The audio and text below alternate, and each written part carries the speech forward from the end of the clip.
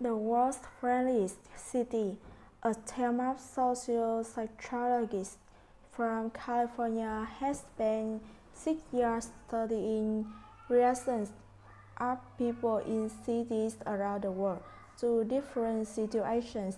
The results show that cities where people have less money generally have friendlier populations. Rio de Janeiro in Brazil, which is often known for its crime, comes up top, and the capital of Malawi, Lilongwe, comes third. But what makes one city friendlier than another?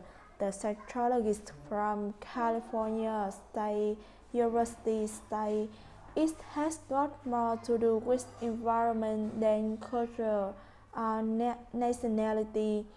They carried out a study into the way locals treat strangers in 23 cities around the world.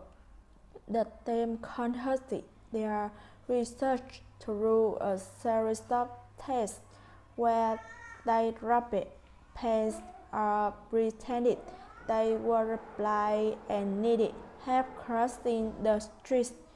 The study concludes that people are more helpful in cities with a more relaxed uh, way of life just as Rio. While they were there, researchers received help in 93% of cases and the percentage in Lilongwe were only a little lower. However, richer cities such as Amsterdam and New York are considered the least friendly.